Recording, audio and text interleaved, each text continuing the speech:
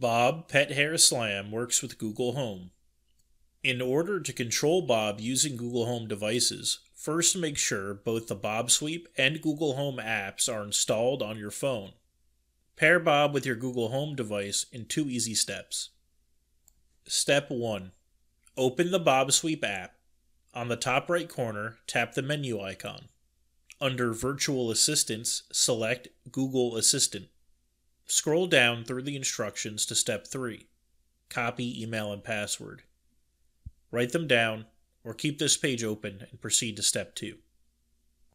Step 2. Open the Google Home application. Next, tap the plus sign on the top of the page and select Set up device. Select Works with Google. Tap on the search icon on the top of the page and search for bObsweep.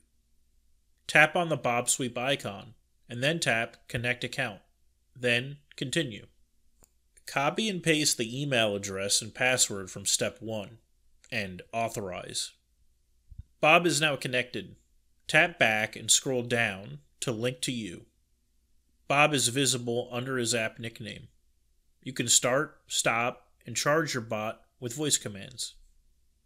To start cleaning, say, OK Google, start vacuum. OK Google, start the vacuum. To stop cleaning, say, OK Google, pause the vacuum. OK Google, pause the vacuum. To charge, say, OK Google, charge the vacuum. OK Google, dock the vacuum. Keep in mind you can substitute the word vacuum with Bob's given nickname when giving voice commands. Disconnect Bob from Google Home. To disconnect Bob, first remove him from your list of linked devices. Then, open the Google Home application.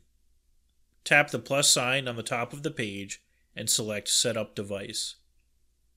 Select Works with Google or Have something already set up. Tap on the bObsweep icon on the top of the page and Unlink Account.